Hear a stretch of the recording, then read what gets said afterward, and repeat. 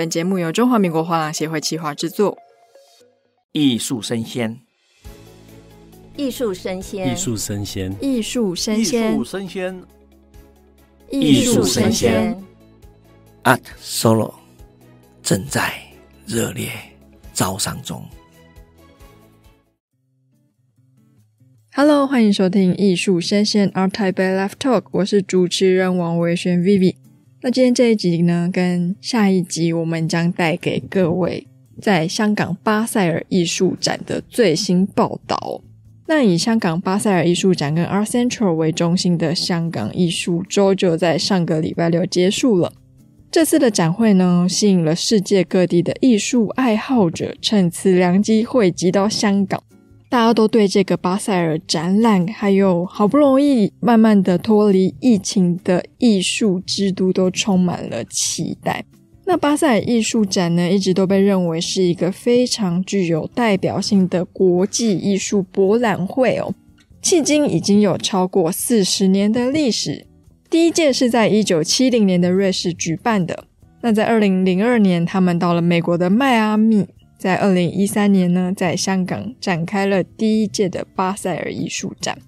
那么这次的巴塞尔艺术展呢，也是从二零一九年以来最大的展览规模。值得注意的是，为大型艺术创作而设的艺剧空间，也是在疫情之后首次回归。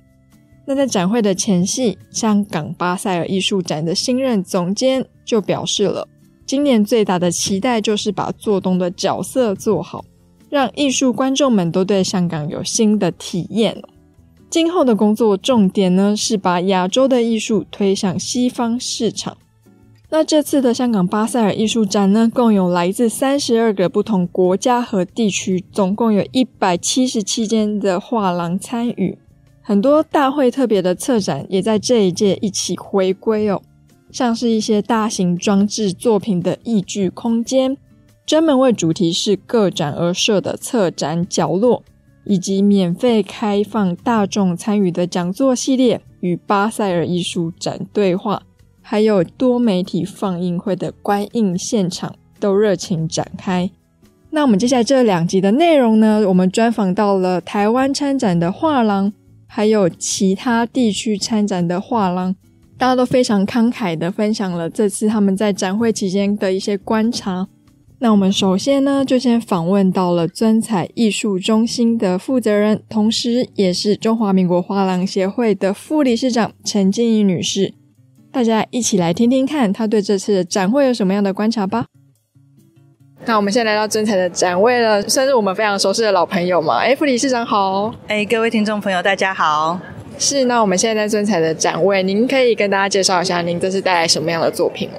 哦，今年真的很高兴，因为这是疫情之后，阿巴蛇它重新再回归开幕了。那从第一天三月二十一号的开幕，大家可以体会到，哇，这真的是来势汹汹的一个开幕，盛况非常。那几乎很多的老客户啦，或是很多中国的私人美术馆，非常多的台湾的藏家都一起来到了香港阿巴蛇上来，共同来欣赏这个最大的一个盛会。那当然，今年可以看得到非常多的民众，其实他们等于是重新再回到了阿巴索的这个现场，充满着新鲜感，也充满着好像很兴奋的那种心情来参观，然后同时选购自己的艺术品。所以在第一天的开幕的时候，几乎各家画廊都是非常高兴，都拥有了非常好的成绩。那我也是非常高兴，说我们在今年的开幕的时候就有了非常好的一个成果。是，那今年在展场上有没有什么特别的小观察可以跟大家分享？跟往年有什么比较不一样的地方呢？嗯，呃，我想说，因为以往我们呃阿巴索在疫情之前的时候，当然很多人已经习惯了说阿巴索它的整个展览形式跟购买的形式。那因为经历了这个三年疫情的一个阻隔，所以现在大家在重新来到了这个艺博会的时候，我觉得大家好像有重新在习惯说这个艺博会的一个步调，可能哇艺术品非常的多，然后或者人潮。潮非常的急，那很多画廊卖的速度非常的快，这可能是很多人在这一次里面可能感受到说，觉得需要慢慢去适应的。比如说有很多的客人看了，他觉得需要再考虑，可再回来的时候都早就都卖掉了。哦，那也有很多客人跟我反映说，今年很多画廊成交速度都太快了，所以如果今年动作没有快一点的话，很多你自己觉得哦很有动性的作品可能都买不到。那这今年很特别的一个现象，因为人潮实在是过多，加上我觉得有非常大的一个民众都来自于中国的藏家，所以我觉得可能各个画廊在今年其实也应该是非常忙碌，但是也忙的是非常开心的。哇！第一间真彩艺术中心的陈经理副理事长跟我们的分享，我们就可以知道，可能大家都关非常久了，所以说成交的速度真的是非常的快。那在第一天的 VIP 日呢，就可以感觉到非常多的贵宾就涌入了现场，所以据闻在开幕的那天就有非常好的成果。那我们接下来要听到的一样是一件来自于台湾的索卡画廊。那访问到的是创办人肖富元先生，让我们一起来听听看他对这次的巴塞尔有什么样的想法。那创办人也非常慷慨哦，跟我们分享了在多次参加巴塞尔艺术展展间之间的一些变化，跟他们当初申请参展的一些心得。就我们是一九九二年创始于台南啦。然后在一九九六年的时候就去台北，我们有一小阵子在九七年我们在台中也有画廊，那后来就我们去了北京，所以就把台中这个都收掉。我们是两千零一年到了北京，那北京到现在二十二年，从手稿创立到现今今年是三十一年。对，我们的历史是这样。那主要我们做的是整个亚洲当代的艺术。哎，我们刚开始做的是等于是大陆的艺术了，就九二年是做大陆艺术。当然后来我们有做台湾的艺术家嘛。然后到了零七年，我们是第一个做东南亚艺术的。哦，东南亚艺术应该是我们是最早第一家。从零七年开始，我们就等于华人是最早做东南亚。那零八年我们是做，等于是日韩都有做，所以我们其实就把整个亚洲全部包括在里面。简单的介绍是这样。是，那索卡艺术其实听起来就是深耕于两地都有嘛。那不知道中国的市场跟台湾的市场在艺术品或者艺术家的经营策略上有什么样的不同呢？是现在吗？对，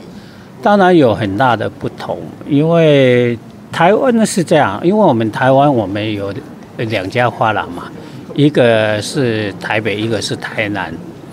我们台南重点是做台湾的艺术家。那台北呢？我们是做整个亚洲。那北京，我们北京在七九八嘛，我们主要是以大陆艺术家为主，然后还有一部分是做欧美的艺术家。因为我们现在从差不多一五年开始，我们比较伸展到整个世界，但是我们比较重视的是，就是说大陆留学。在海外的艺术家，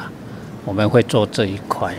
所以我们三个画廊主要的展览不同，但是不是完全呐？哦，应该是我说的主要是百分之七十是做这一块，然后有百分之三十会配合啊，整个地区会做一些不同的跨地区的展览，嗯。是那索卡已经成立三十一年了嘛？那在中国大陆其实也有非常深的这个经营的资历。那想要请问您，您怎么看中国的艺术市场呢？其实中国的艺术市场，从我是零一年去，然后那时候是没有市场。零一年去，我记得我到北京的时候，北京只有两家画廊，就有两家画廊。然后海外我们是第一家进去的。但是中国的艺术的发展是从零三年，就是 SARS 过后，它整个艺术就开始爆发。它它的爆发期是零三年开始到零八年，就世界金融风暴啊，那时候才开始往下走啊。这一段时间都往上走嘛。那现在我发觉说，其实现在两岸因为政治的因素，所以交流也很少。那两岸的收藏家喜欢的也都非常的不一样。因为现在比如说在台湾呢，好像大陆艺术家在台湾现在就很难得到大家的共识，反而像在这种国际的博览会会比较受重视。台湾好像比较重视的是日本，尤其是日本的艺术家是大家现在很追求的日本那种比较平面，然后比较卡通啊，就是动漫美学的东西，是现在台湾的一些主流吧。然后还有配少数的那个欧美的艺术家，但是欧美艺术家也是动漫的为主嘛。那还有台湾的艺术家。其实台湾的艺术家，我看在台湾也相对的比日本艺术家还弱势。那大陆就不一样，大陆因为它幅员广阔，然后可能各地的美院都有一些诶不错的艺术家，然后还有大陆有一大部分的艺术家读完大学以后，甚至于读完高中以后，他们都到国外去留学。所以呢，现在大陆艺术家在美国啊，像洛杉矶、纽约，还有伦敦，还有法国啊，巴黎，还有德国，这些都是大陆艺术家很多在那边，尤其是九零后的艺术家。所以这一块呢，慢慢的受到大家的重视，包括现在很多大的画廊，像什么白立方啊，什么高古轩啊这些。这些画廊也都在做大陆的年轻艺术家，所以大陆年轻艺术家反而很容易在国际上，啊，大家会知道会注意。嗯。那我今天阿巴手已经经过了几天了嘛？那不知道在展场，不论是场地或是藏家，有没有什么特别的观察可以跟大家分享？我觉得阿巴手就这三年来，等于是前一年它停止嘛，哈，后两年它就一个小规模，那今年算是全面的开放，大规模的回归。但是今年呢，因为阿巴手我看它最高的时候就是两百五十家画廊参加嘛，那今年是一百七十七家嘛，就等于它恢复差不多三分之二吧，还没有完全恢复。但是我觉得今年有一点像我们以前的 SARS 过后的那一个状况，就是一下子可能大家太久了哈，包括来参观的人，还有市场整个就会有一种喷出来的那种感觉。所以以我们今天来讲，就第一天，因为我们阿巴手我们从第一届到现在没有中断过，就是前两年小规模的我们也都参加。哦，我们像去年我们就四十平米，我们也参加。今年我们有拿到一百三十三平米，是有史以来最大的。那今年就一下子就喷出来以后，我们是有史以来第一天卖的最多的，卖了十八件作品，所以是有史以来卖的最算是最好的吧。哎，然后卖到现在，哎，已经卖了二十二件嘛。呃，就是后来一天各卖两件，一共二十二件作品，那金额也达到将近两百万美金嘛，所以我们算是可以的。哎哎哎。那因为要进到阿巴索参展，这些展商都会有非常严格的审查机制嘛。那您有这么丰富的参展经验，能不能就是分享给一些未来可能也想要参与这个展会的人，在送件的标准上有没有什么小 paper 可以跟大家分享？其实阿宝所是这样的，阿宝所的前身是两千零八年的时候，它是香港艺术博览会的，啊，是那个光头，就是现在的台北当代做的嘛，哈，那个老师做的。那当时我们是受邀参加的，我们不是申请参加，是他到北京来找我，那我们啊跟我谈，然后我觉得还可以，可以来试试看，所以我们就从第一届就参加。那梅格拉斯完以后就被阿巴索收购了嘛，哈，收购以后我们也是从那时候开参加。当然阿巴索现在都要写申请表格，然后我们就是从等于是延续到现在，没有一年是中断的嘛。我们都是一直参加这个博览会。那现在可能很多新的画廊要加入阿巴索，确实是有一个比较大的困难，因为阿巴索每一年它的场地就是这么大，然后每一年要参加的那个还是有限的，尤其是台湾，台湾画廊其实就是一个比较那个的，就是因为台湾都是小画廊居多，都是个体户的画廊。哎，所以小画廊其实它本身的那个，不管财力也好，或者是说它整个营运，就因为画廊其实门槛很低啊。其实画廊很门槛很低，你就是有一个五十万、一百万台币就可以开一个画廊嘛。哦，是不是门槛 门槛很低？但是要画廊要做好不容易。那阿巴索，我觉得他们会看的，就是说第一个。你画廊有没有自己代理的艺术家？不是那种买卖型的画廊，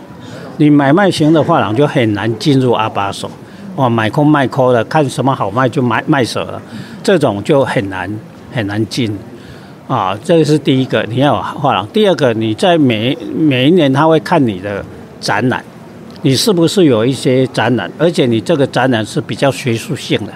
不是那种。为了买卖来做的啊，这这样的一个哦，那第三个可能你第一次要申请会比较难一点，你可能要不要不要放弃？哎，对，就多申请几次，然后你一直有持续在做，他们也会看。我我觉得我看这一次一日一日有有进来。那一这个就是一个观察了，有些你进来一次，你第二次你要拿什么东西出来，也很重要。它它会连续三次在那种小空间，然后一个独立个展的空间完以后，才会进入这种我画廊的集集萃这种空间。我看台湾还有几家画廊都还在，它有分嘛，整个世界的一个那个，再来就亚洲。再来是个展，其实阿巴索来参观的人可能都不知道，但是其实它有区别的。像亚洲画廊，它还在亚洲的这个区嘛，哦，它是它其实它是一个有区别的，哦，啊外面看起来是没有什么区别的，但是我们看来是有区别的，哎，啊，这个就是你本身你要真的是要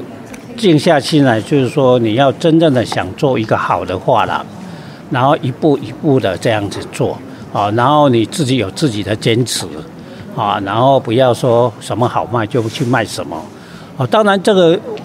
维持自己的生计是一定要的啦。但是就是说，也不要说你做画廊的目的刚开始就想赚钱，这可能就是一个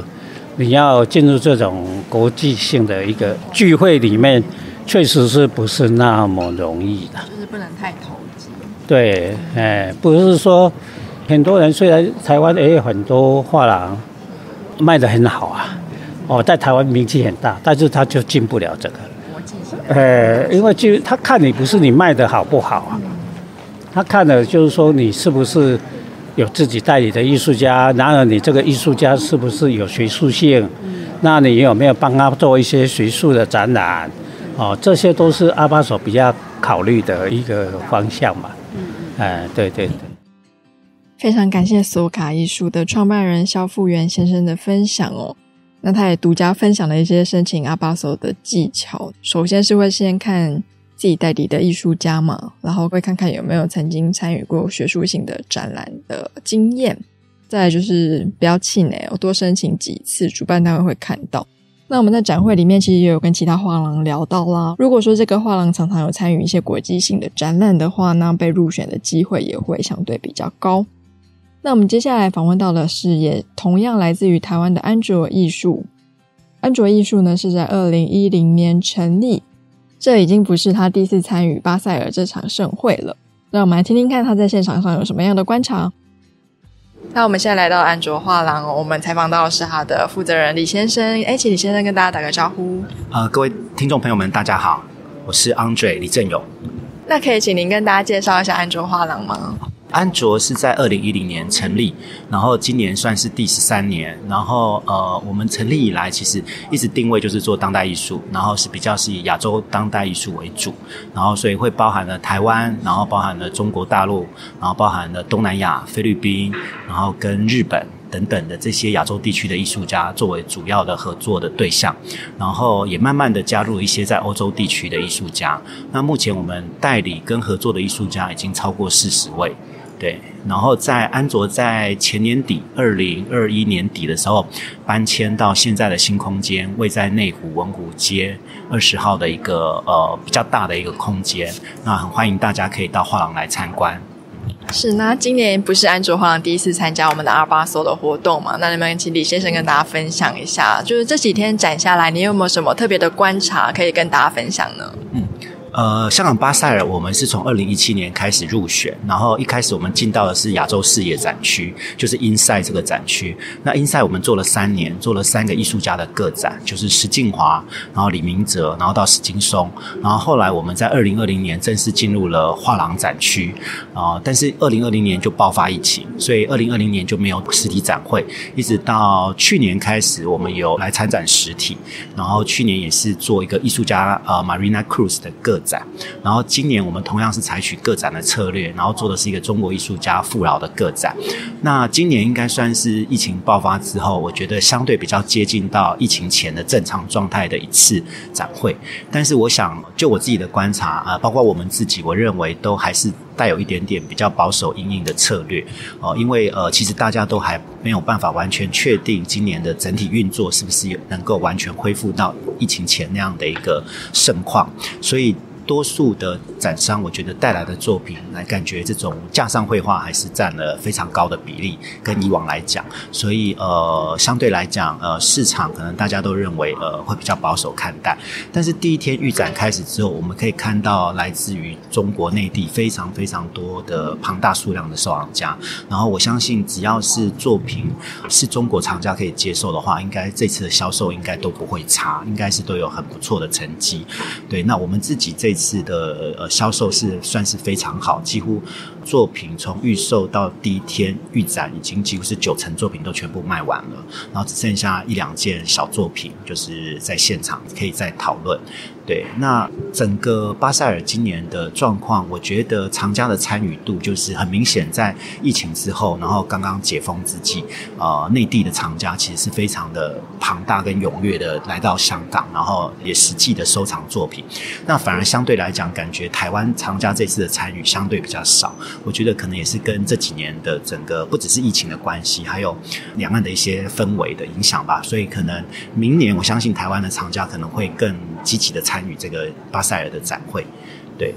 那我刚好听到其他的展商有提到说，今年在现场有非常多韩国的藏家来到现场，您也有注意到这样的现象吗？呃，其实不止韩国、新加坡的藏家，我觉得今年的参与比例都比以往高一点。那感觉可能也是跟去年开始的 Face Soul 或今年的 RSG 啊的举办，我觉得多多少少都有带动这样子的一个现象。我们第一天确实也有两三个韩国藏家有来询问作品，只是他们可能对艺术家不熟，所以他们没有那么快做决定，但是。确实，韩国藏家，呃，我觉得这次在香港的比例，我觉得有比以前更高一点，嗯，而且更有互动。那您这次带来的艺术家是来自于哪个国家呢？对，我们这次展的是一个个展，然后艺术家是一个中国艺术家，叫富饶，但他已经在德国居住超过二十年，所以他其实大部分的艺术养成是同时包含了东方跟西方，然后形成一个自己非常独特的绘画的一个风格，对。